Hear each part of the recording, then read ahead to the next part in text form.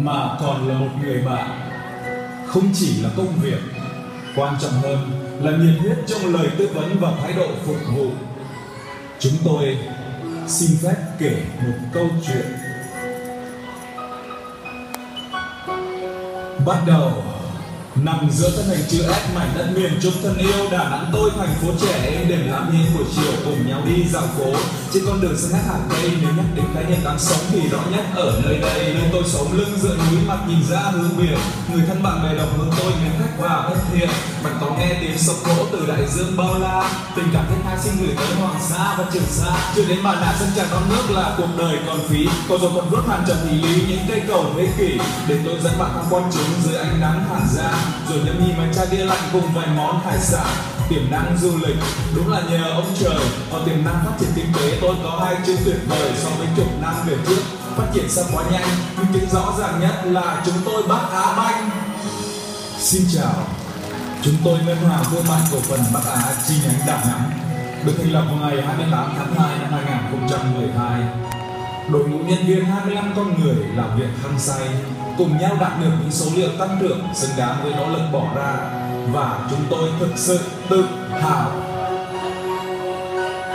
Banh chúng tôi tâm huyết trong từng sản phẩm.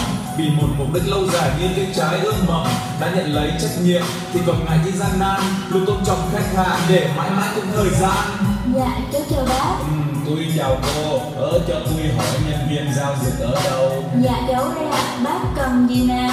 tôi muốn gửi tiết kiệm nhưng không biết chọn gói gì. Cháu có gói tiết kiệm người cao tuổi dành cho khách hàng 50 tuổi trở lên Tôi 78 và xã năm nay 62 Cháu mời bác điền vào tờ khai. Ồ lãi suất cao lại nhiều ưu đãi. Mà tôi quên mất ngân hàng tên gì vậy cô? Thư chi nhánh Đà Nẵng ngân hàng Bắc Á Bank Tiết kiệm có kỳ hạn Tiết kiệm gửi góp. Tiết kiệm người cao tuổi là những sản phẩm Bắc Á Banh dành cho mọi đối tượng khách hàng nhỏ lẻ. Ngoài ra, Bắc Á Banh đem đến cho khách hàng những sản phẩm tiện ích như True House, True Shopping. Đã biết, Bắc Á Banh tận tình với khách hàng. Bắc Á Banh còn quan tâm đến nhân viên thông qua những buổi tổng kết, những lễ sinh nhật hàng quý. Vì vậy, đừng ngạc nhiên khi thấy chúng tôi luôn tràn đầy sức sống như các bạn luôn thấy hướng đến kỷ niệm 20 năm thành lập Ngân hàng Bắc Á 17 tháng 9 năm 1994, 17 tháng 9 năm 2014. Xin được hô vang, giữ tâm sáng để vươn xa rộng khắp